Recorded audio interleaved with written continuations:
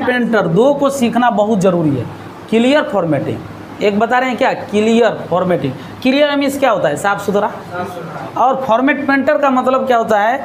Format painter का मतलब होता है यहाँ पे एक फ़ाइल जैसे हम डिज़ाइन को परिवर्तन करते हैं। जैसे एक हम इसमें थोड़ा परिवर्तन कर रहे हैं। इस ए बी सी को लिखते हैं, ठीक है? इसको थोड़ा बड़ा कर देते हैं, ठीक है? बड़ा भी कर दिए हैं। इसमें कलर भी चेंज कर दे रहे हैं, ठीक है ना? कलर चेंज कर दे रहे हैं। ठीक है? चलिए कलर चेंज कर दिए।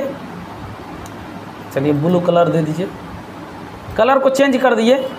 अब देखिए कभी कभी क्या होगा, इस तरह से लिखा हुआ रहेगा। ये बड़ा ए बी सी डी है। बड़ा ए बी सी है। है कि नहीं? और कभी कभी क्या होगा, बड़ा ए बी सी कहीं से कॉपी पेस्ट कीजिएगा। जैसे वर्ड में यही डेटा को सेव करके रखे हैं। कहाँ रखे हैं? वर्ड में। वर्ड में आप सेव करके रखे हुए। इस डेटा को कहाँ पे सेव करके रखे हैं? वर्ड में। आ, एक होता है एक्सल में एक्सल में भी सेव करके रखे। हैं हम चाह रहे हैं आप चाह रहे हैं वर्ड का जो भी डेटा है कॉपी करें और इसमें जाके पेस्ट कर दें। एक्सल में जाके पेस्ट कर दें। ये कॉपी वर्ड वाला फ़ाइल जो है तीस के फॉन्ट में है और एक्सल वाला फ़ाइल जो है आपको एक्सल वाला जो डेटा बना रहे हैं वो आपको बीस का फॉन्ट में है। किसके फॉन्ट में है? बीस के। देखिए ध्यान दीजिएगा यहाँ पे बहुत इंपॉर्टेंट है। यहाँ पे तीस का हम वर्ड वाला में गए तो तीस का फॉन्ट है। लेकिन एक्सल में हम जा रहे हैं तो जिसमें हम काम कर रहे हैं, उसमें फॉन्ट कितना का साइज़ है? बीस का। अब यदि 20 का फॉन्ट हम कॉपी करके एक्सल में डाले 30 का फॉन्ट कॉपी करके एक्सल में डाले तो क्या एक्सल में जाने के बाद 20 ही फॉन्ट रहेगा या 30 ही रहेगा? ये बताइए। 20 रहेगा या 30 रहेगा? हम 30 को कॉपी करके 20 वाला में डालें तो 20 रहेगा या 30 रहेगा? ये बताइए। 30 रहेगा या 20 रहेगा? 20 नहीं 30 हो जाएगा। 30 वाला ना कॉपी किए थे। आ कॉपी करके डालिएगा तो परिवर्तन कुछ थोड़े होगा। यदि वर्ड का कोई डेटा हम इसको बड़ा कर दिए हैं, ठीक है? फिर से समझ लीजिए। तीस का तीस का होगा ना? जैसे इस कॉपी करते हैं, ध्यान दीजिएगा। चलिए, इस डेटा को हम कॉपी करते हैं। यहाँ पे कॉपी किए हैं, इस डेटा को कॉपी किए। इसी में से इसमें डाल देते हैं। कोई दिक्कत है वर्ड से ले एक्सेल से ले पावर पॉइंट से ले, कॉपी करेंगे तो बात तो एक ही ना होगा, कॉपी करने का, एक ही चीज़ आएगा। तो इसको हम कॉपी किए, ठीक है? कंट्रोल सी कर लिए। कंट्रोल सी करेंगे तो देखिएगा dot dot dot dot dot ऐसे ऐसे घूम रहा है। इसका मतलब ये सिलेक्शन हो चुका है, यानी कि कॉपी हो चुका है। वर्ड में ऐसे पता नहीं चलता है। चलिए इस ए बी सी को हम यहाँ पे डाल देते हैं, इतना पे। कंट्रोल बी कर देते हैं। कंट्रोल बी से क्या होता है? पेस्ट होता है।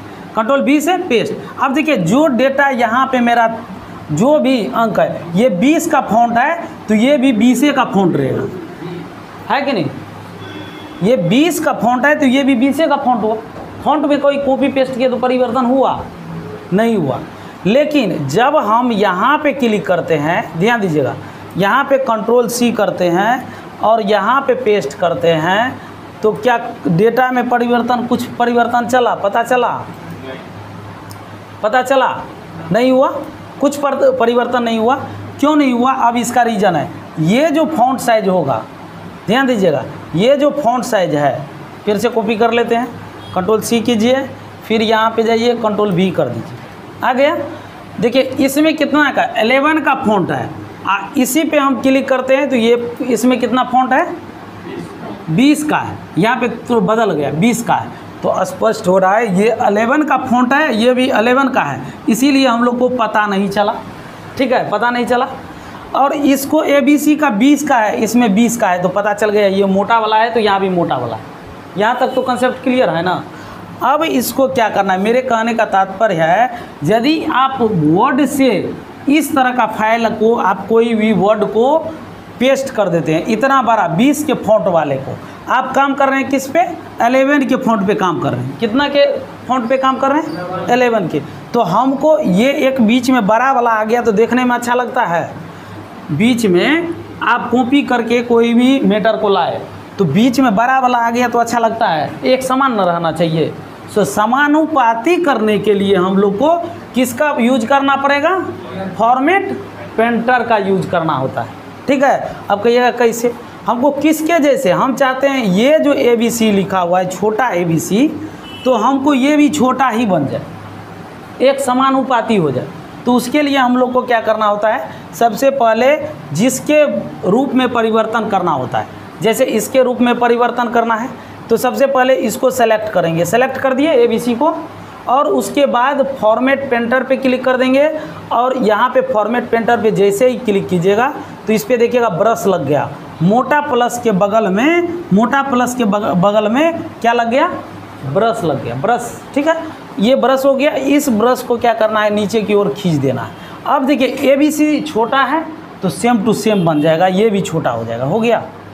कोई दिक्कत है? बन गया कि नहीं? हम वर्ड से लाए एक्सल से लाए पावर पॉइंट से लाए, जहाँ से भी या इंटरनेट से हम फ़ॉन्ट डाउनलोड करते हैं तो वहाँ पे रहेगा तीस का फ़ॉन्ट आप कर रहे हैं एलेवन पे काम तो ये तो परिवर्तन हो जाएगा ना, कुछ ना कुछ तो अंतर होगा अंतर होगा। तो एलेवन के जैसे तीस को बनाना है तो एलेवन को सेलेक्ट करना है, तीस पे पेंटर से घस देना है, ठीक है ना? तो ये आपका उसी के रूप में परिवर्तन हुआ। अब ये सेलेक्ट है, हमको ये भी परिवर्तन करना होता है। तो इसको परिवर्तन करने के लिए फिर देखिए, इसको परिवर्तन कर रहे हैं। फॉर्मेट पेंटर का कितना इंपॉर्टेंट काम है। इस पर सेलेक्ट है, चाहे एक वर्ड कर लीजिए, एक लाइन कर लीजिए, जो भी करना है। तो इस पर क्लिक किए और इस फॉर्मेट पेंटर से हम इसको ऐसे करके सेलेक्ट कर लिए। हो गया? अब समानुपाती हो गया कि नहीं? जिस फॉर्मेट जिस फॉर्मेट में हम काम कर रहे थे, कहीं से कॉपी करके पेस्ट करेंगे तो एक जैसा बनाने के लिए एगो को सेलेक्ट करके फॉर्मेट पेंटर से निकाल देंगे।